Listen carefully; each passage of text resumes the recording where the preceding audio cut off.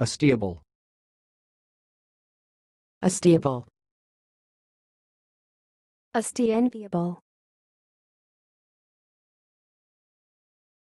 Thanks for watching. Please subscribe to our videos on YouTube.